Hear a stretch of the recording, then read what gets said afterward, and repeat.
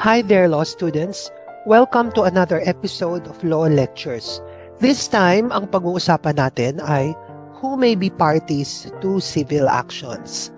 There are several special rules on this topic, and these are found in sections 1 to 22 of Rule 4 of the Rules of Court. The parties in an ordinary civil action are called plaintiff and defendant. The plaintiff is the claiming party, while the defendant is the party who is opposing the plaintiff's claim. Remember the designations of parties in ordinary civil actions. They are plaintiff and defendant, not petitioner and respondent, which refers to the parties to special proceedings. Magkaiba yon. And for now, because you are law students, we have to be very technical about these terms dahil may mga kasamang ibig sabihin o kahulugan ang bawat technical term na to. Again, the parties in ordinary civil actions are plaintiff and defendant. There are three kinds of parties to civil actions. One is natural persons. Number two, we have juridical persons. And number three, entities authorized by law. A natural person is an individual human being. A juridical person is a fictional person created by law. Under Article 44 of the New Civil Code, merong tatlong klaseng juridical persons. Number one, the state and its political subdivisions. Katulad na lang ng local governments, we have the provinces, we have the cities, and we have the municipalities.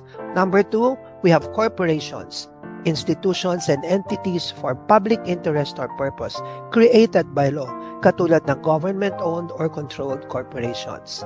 And number three, we have corporations, partnerships, and associations for private interest or purpose. These are registered with the Securities and Exchange Commission. Tandaan na ang sole proprietorship is not authorized by law to be a party. What I mean is that it cannot sue or be sued under its business name. The per- person to be sue to, to sue or be sued is the individual owner, but you can indicate that he or she is doing business under the name and style of the single proprietorship business, and you should indicate the business name. So let's look at a case decided by the Supreme Court in 2002. It is the case of Anita Mangila versus Court of Appeals, GR number 125027. By the way, mababasa nyo ang tungkol sa topic na to at ang case na to sa aking virtual textbook on civil procedure which you can access at www.profchato.com. Again, www.profchato.com. So, yung case ng Anita Mangila versus Court of Appeals involved two individuals. Anita Mangila, who resided in Pampanga, and Loretta Gina, who resided in Paranaque. Alright, so again, Importante kasi pinag-uusapan natin dito yung venue. Anita Mangila resided in Pampanga and Loretta Gina resided in Paranaque. Mangila is a seafood exporter doing business under the name and style Seafood Products. This is a sole proprietorship business. Gina has a freight forwarding business under the name and style of Air Swift International. Mangila engaged the services of Guina to transport seafood products from the Philippines to Guam. The items were shipped but Mangila did not pay on time despite demand. Guina filed a complaint for sum of money against Mangila in the RTC of Pasay City. She filed it in Pasay because that was the location of her sole proprietorship business, Air Swift International. There were a number of issues raised in this case, and one of them is improper venue. So the issue was Is it proper for the plaintiff to file the case in Pasay, um, despite the fact that the plaintiff's residence was in Paranaque and the defendant's residence was in Pampanga, whereas the plaintiff's business was located in Pasay? Sabi ng Supreme Court, venue was improper. The case uh, should have been filed either in Paranaque or in Pampanga, the residence of the plaintiff or the residence of the defendant, respectively. It should not have been filed in Pasay, where the sole proprietorship business is located. It would have been different if the business is a corporation which has a separate legal personality. On the other hand, in a sole proprietorship, the legal personality belongs to the owner who is a natural person. Now, there is another case, Berman Memorial Park Incorporated versus Cheng, decided in 2005. You can also find this case in my virtual textbook on civil procedure. In this case, Iloilo Memorial Park was impleaded as a defendant. In the course of the proceedings, it was revealed that Iloilo Memorial Park is not a corporation. It is just a business name used by its owner for the memorial park. The owner of Iloilo Memorial Park was Berman Memorial Park Incorporated, which is registered as a corporation. The Supreme Court ordered that Berman Memorial Park Incorporated should be impleaded as a party instead of Iloilo Memorial Park. Now let's talk about real parties in interest. It is important that a person who is impleaded as a party to a civil action is a real party in interest. Section 2 of Rule 4 defines real party in interest as follows. The interest of a party, either as a plaintiff or defendant, should be real and substantial. It should be an existing interest, one that is in esse and not a future or inchoate one. When we say in esse, it's uh, it's a Latin term for existing. It's already existing at present. So the right must be existing and not a future one. To determine who the real party in interest is, let us go back to the elements of a cause of action. First, we have the plaintiff's right. Second, we have the defendant's obligation to respect that right. And third, there is a violation by the defendant that causes damage or injury to the plaintiff. So who can be parties? A person can be a plaintiff if he is the owner of the right that is violated. Or a person can be a defendant if he was the one who committed the violation. Suppose there was a vehicular collision in which the driver of a car was injured but a passerby was not. In an action for damages due to the physical injury, the driver is a real party in interest and he can bring the action as a plaintiff. The passerby cannot bring the action as a party defendant because he did not incur any injury and there was no right belonging to the passerby that was violated by the defendant. Now, Section 2 also states that the action must be brought in the name of the real party in interest.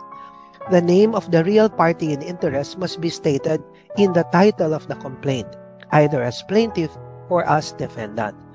Even if he is a minor or an incompetent person who is under guardianship, the name of the minor or incompetent person must be stated in the title of the complaint, together with the name of his guardian. That's found in Section 5.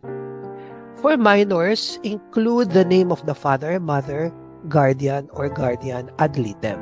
If the person named as plaintiff or defendant is not the real party in interest, the defendant can raise the affirmative defense that the complaint states no cause of action. I said earlier that the interest of a person should be in esse or already existing. So I would like to give an illustration for this. Suppose Pedro is a widower. He has one son named George. Okay. A Pedro sold his land to Maria but Pedro's son George now brings an action to nullify the sale, claiming that he is interested in the land because he is a future heir of Pedro. He is claiming that he should not be deprived of his share. Since Pedro is still alive, the son George has no right over his father's property and cannot bring an action to nullify the sale. Okay? Spouses as parties. When the case is against a husband and wife, they must be sued jointly, as a general rule. This is because of the presumption that their property belongs to their absolute community under the family code. However, there are instances when they may not be sued jointly. When is that? Suppose the husband owns a piece of property that he inherited from his parents during his marriage. Now, this is his exclusive property. If that property becomes the subject of a court case, only the husband has to be impleaded as a party defendant. Now, let's talk about indispensable parties.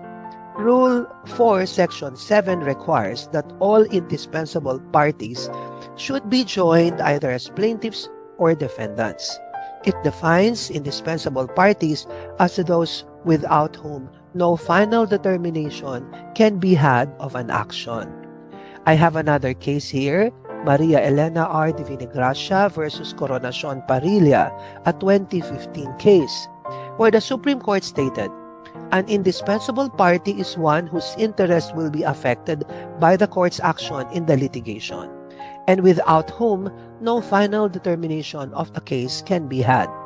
The party's interest in the subject matter of the suit and in the relief sought is so inextricably intertwined with the other parties that his legal presence as a party to the proceeding is an absolute necessity. In his absence, there cannot be a resolution of the dispute of the parties before the court which is effective, complete, or equitable. Thus, the absence of an indispensable party renders all subsequent actions of the court null and void for want of authority to act not only as to the absent parties but even as to those who are present. Now, I would like to give an example again. Let us suppose that Juan, Pedro, and Maria are siblings. They are co-owners of a parcel of land. Juan wants to have the land partitioned. Pedro and Maria are not willing to have the property partitioned. Juan now brings an action for partition but impledes Pedro only. Can the case proceed? The answer is no. Maria is an indispensable party because the partition case cannot be completely decided without her participation. She has to be impleaded in the case as a defendant. Under the rules on partition, if a co-owner refuses to join as plaintiff, he or she should be joined as defendant. Let's now talk about compulsory joinder of indispensable parties. According to the rules, indispensable parties should be joined either as plaintiffs or defendants. Otherwise, the case cannot proceed because it will not result in a full resolution. The court will not dismiss a case when an indispensable party is not joined. Instead, it will issue an order to implead the indispensable party in the case. According to Section 11, non-joinder of parties is not a ground to dismiss a case. We have another category of parties and that is necessary parties. A necessary party is one who is not indispensable but who should be joined so that complete relief can be had. You find this in Section 8. In other words, the case can proceed even without that party and can be partially resolved. However, there can only be a complete resolution if the necessary party is joined. A simple illustration is in order so that you will understand this. Let's think of a joint obligation for sum of money. Debtor 1 and debtor 2 borrowed 10, 100,000 pesos from the creditor under a single prom promissory note. It was agreed that debtor 1 and debtor 2 will each be liable for 50,000 pesos or a total of 100,000 pesos. After the lapse of the deadline and despite repeated demands, both debtors did not pay. The creditor sued both debtors for 100,000 pesos under the promissory note so that he can recover the full amount. But suppose the creditor cannot do that because he cannot locate debtor 1. He can sue debtor 2, but only for 50,000 pesos. The case can proceed against debtor 2 and be resolved against him only to the extent of 50,000 pesos. Note that under Section 9, the creditor should explain why he cannot implead debtor 1 in this case. Uh, Section 9 states, Whenever in any pleading in which a claim is asserted, a necessary party is not joined, the pleader shall set forth his name if known, and state why he is omitted. Should the court find the reason for the omission unmeritorious, it may order the inclusion of the omitted necessary party if jurisdiction over his person may be obtained. The failure to comply with the order for his inclusion without justifiable cause shall be deemed a waiver of the claim against such party. The non-inclusion of a necessary party does not prevent the court from proceeding in the action, and the judgment rendered therein shall be without prejudice to the rights of such necessary party. There is another kind of party, and that is the unwilling co-plaintiff. If the consent of any party who should be joined as plaintiff cannot be obtained, he may be joined as defendant, and the reason shall be stated in the complaint. Another rule concerning parties, which I mentioned earlier already, is neither misjoinder nor non-joinder of parties is a ground for dismissal of an action. Parties may be dropped or added by order of the court on motion of any party or on the court's own initiative at any stage of the action, and on such terms as are just. Any claim against a misjoined party may be severed and proceeded with independently. Now, we also have what we call a class suit. When the subject matter of the controversy is one of common or general interest to many persons, and this, the persons are so numerous that it is impracticable to join all of them as parties. A number of them, which the court finds to be sufficiently numerous and representative, as to fully protect the interests of all concerned, may sue or defend for the benefit of all. Any party in interest shall have the right to intervene to protect his individual interest. There are three requisites for a class suit. Number one, the subject matter is of common or general interest to all. Number two, persons are too numerous to bring them all before the court.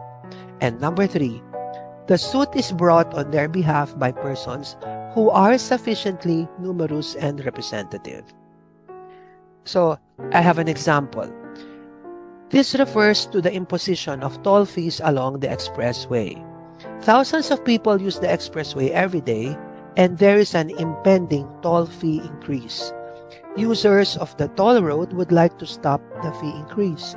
This can be the subject of a class suit because it satisfies the three requirements for a class suit. Now, here's an example of a case that is not a class suit. We have a vessel with 300 passengers. The vessel sank. All passengers died. Relatives sued the shipping company for damages for their respective losses. This is not proper for a class suit because the elements, the three elements for a class suit will not be present. How about alternative parties? According to the rules of court, where the plaintiff is uncertain against who of several persons he is entitled to relief, he may join any or all of them as defendants in the alternative, although a right to relief against one may be inconsistent with a right to relief against the other.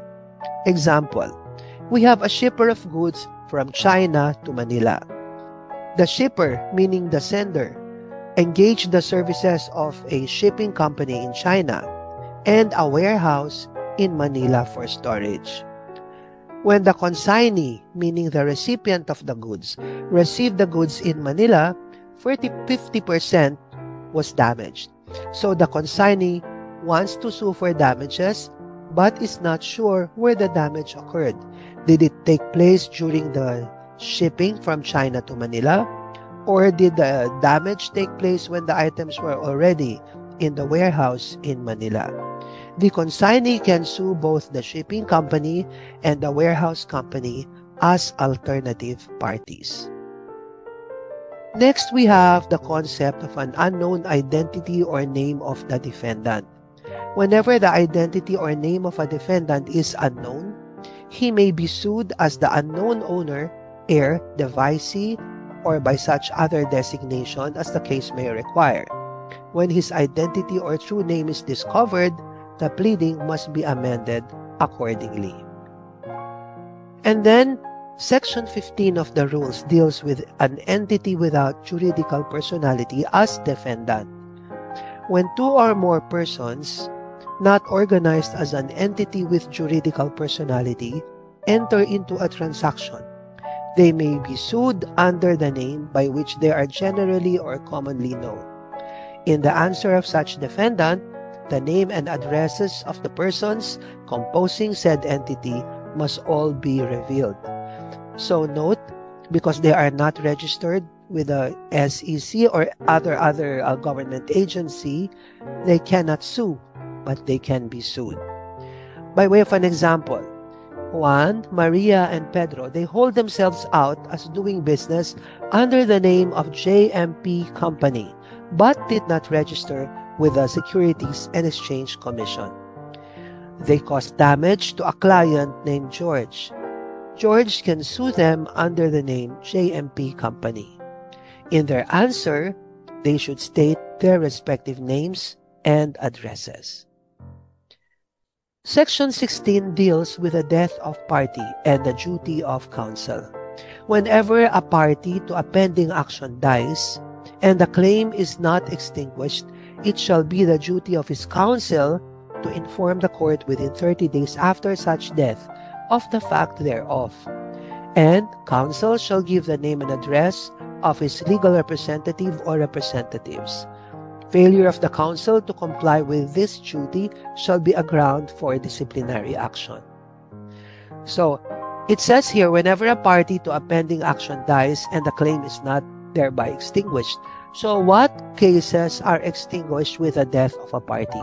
Cases that are personal to the party, like illegal separation, uh, declaration of nullity of marriage, or annulment of marriage. Those types of proceedings or actions are extinguished by the death of a party. But if it is a sum of money action, for example, that is not extinguished by the death of a party. And so this provision will have to apply. Continuing further under section 16, it provides the heirs of the deceased may be allowed to be substituted for the deceased without requiring the appointment of an executor or administrator, and the court may appoint a guardian ad litem for the minor heirs. The court shall order the said legal representative or representatives to appear and be substituted within a period of 30 days from notice. If no legal representative is named by counsel for the deceased party, or if one so named shall fail to appear within the specified period, the court uh, may order the opposing party within a specified time to procure the appointment of an executor or administrator for the estate of the deceased, and the latter shall immediately appear for or on behalf of the deceased. The court charges in procuring such appointment if defrayed by the opposing party may be recovered as costs. Section 17 talks about the death of a or separation of a party who is a public officer. When a public officer is a party in an action in his official capacity and during its pendency dies, resigns, or otherwise ceases to hold office, the action may be continued and maintained by or against his successor if within 30 days after successor, the successor takes office or such time as may be granted by the court, it is satisfactorily shown to the court by any party that there is a substantial need for continuing or maintaining it and that the successor adopts or continues or threatens to adopt or continue to adopt the action taken by his predecessor. Before substitution is made, the party or officer to be affected, unless expressly assenting thereto, shall be given reasonable notice of the application and accorded an opportunity to be heard. Now, what about if a party is incompetent or incapacitated? If a party becomes incompetent or incapacitated, the court, upon motion with notice, may allow the action to be continued by or against the incompetent or incapacitated person assisted by his legal guardian or guardian ad litem. Now, this provision refers to when a party was capacitated or competent in the beginning, but he becomes incompetent or incapacitated in the course of the proceedings. The case can proceed against the party assisted by the legal guardian or guardian ad litem. Section 19, Transfer of Interest. In case of any transfer of interest, the action may be continued by or against the original party unless the court upon motion directs the person to whom the interest is transferred to be substituted in the action or joined with the original party. Section 20 Action and Contractual Money Claims. When the action is for recovery of money arising from contract, express or implied, and the defendant dies before the entry of final judgment in the court in which the action was pending at the time of death, the case shall not be dismissed. Okay, the claim shall not be dismissed, rather, but shall be allowed to continue until entry of final judgment. A favorable judgment obtained by the plaintiff shall be enforced in the manner provided by these rules for prosecuting claims against the estate of a deceased person. Section 21 deals with an indigent party. A party may be authorized to litigate his action, claim, or defense as an indigent if the court, upon an ex parte application and hearing, is satisfied that the party is one who has no money, no property sufficient and available for food, shelter, and basic necessities for himself and his family, and the effect of the authority given by the court to litigate as an indigent litigant will include an exemption from payment of docket and other lawful fees, and exemption from payment of transcripts of stenographic notes, which the court will require the stenographer to furnish to the indigent party. But the amount of docket and other lawful fees which the indigent uh, was exempted from paying shall be a lien on any judgment rendered in the case favorable to the indigent unless the court provides otherwise. Now, under Section 22, on notice to the Solicitor General, in any action involving the validity of any treaty, law, ordinance, executive order, presidential decree, rules, or regulations, the court in its discretion may require the appearance of the Solicitor General, who may be heard in person or by a representative duly designated by him. Now, uh, we also have the concept of representatives as parties. They are representatives, meaning they are acting on behalf of another person. And their authority to act shall be evidenced by a special power of attorney or a trust agreement. He or she is acting on behalf of a principal under an SPA, special power of attorney, or on behalf of a beneficiary under a trust agreement. The name of the principal or beneficiary should be included in the title of the case along with the name of the representative. You find that in section 3. Now, I would also like to discuss this concept of permissive joinder of parties. It is possible to join two or more persons as plaintiffs or defendants as long as certain requisites are present. Rule 6 requires that there should be a question of law or fact that is common to all such plaintiffs or to all such defendants. As an example, suppose there is a vehicular collision between a car and a passenger jeepney. Two passengers in the jeepney were injured as a result the jeepney was also damaged. Now, these two passengers, as well as the owner of the damaged jeepney, can bring separate actions for damages against the driver of the car. However, since the damages arose, arose out of the same vehicular collision, both passengers, along with the owner of the jeepney, can bring one case against the driver of the car, and this will be permissive joinder of plaintiffs in that case. So until here for now, and I will be seeing you at the next video.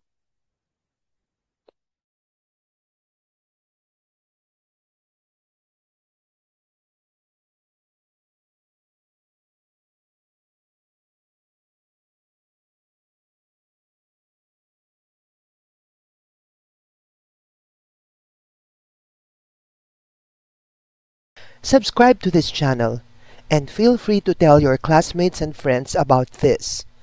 If you want to read my virtual textbook on civil procedure, visit www.profchato.com.